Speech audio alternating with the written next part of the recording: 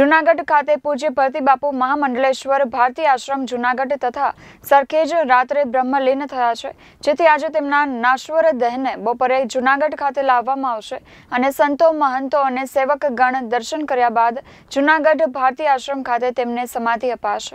જેમાં પૂજ્ય બાપુના નાશ્વર દેહને બપોરે જૂનાગઢ ખાતે લાવવામાં આવશે અને ભારતીય આશ્રમ જૂનાગઢ ખાતે સંતો તેમજ જૂનાગઢ અગ્રણીઓ તેમના અંતિમ દર્શન કરશે અને શ્રદ્ધા સુમન તેમને અર્પણ કરશે.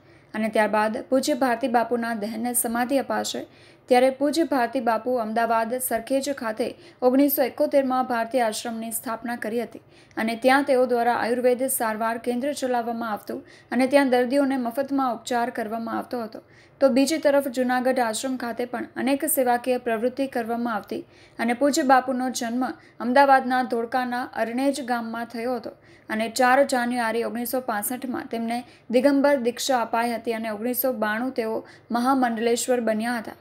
અને ભારતી બાપુ ગૌ સેવા તેમજ વ્યસન મુક્તિ જેવી અનેક સેવાકીય પ્રવૃત્તિ સાથે સંકળાયેલા હતા. ત્યારે તેમનો દેહ વિલય થયાના સમાચાર મળતા જ સંત સમાજ, સાધુ સમાજ અને ભાવિક લોકોમાં શોકનું મોજું ફરી વળ્યું છે અને આજે બપોરે તેમને જૂનાગઢ ભારતી આશ્રમ ખાતે સમાધિ આપવામાં આવશે. પ્રકાશ દવે, કેટીવી ન્યૂઝ કેશો